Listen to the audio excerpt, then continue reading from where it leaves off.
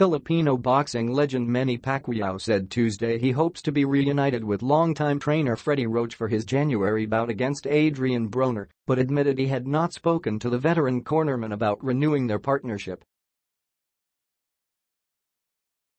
Pacquiao ended a 16-year association with Roach ahead of his victory over Lucas Matthysse in Kuala Lumpur in July, breaking up one of boxing's most famous double acts. However the 39-year-old raised eyebrows during a press conference in New York on Monday when he said Roach would be back in his corner for his January 19 fight against Broner in Las Vegas. Roach though expressed bemusement about Pacquiao's announcement in remarks to Sports Illustrated, saying he had not been in contact with his former protege. I still have never directly spoken to Manny since 2017, Roach said. I'm not going to make a move until Manny calls me.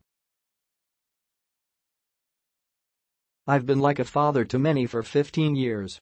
If he can't call me, there will be no deal.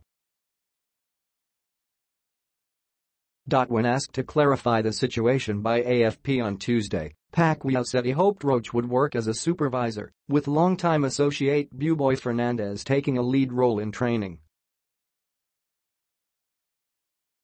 I don't have any problem with Freddie Roach, Pacquiao said at a media roundtable.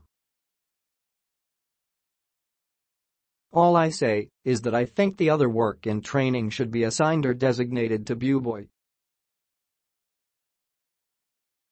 Freddie can supervise or instruct Buboy, this is what we're going to do.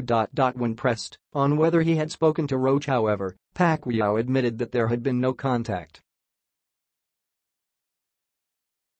We have scheduled to talk today, he said.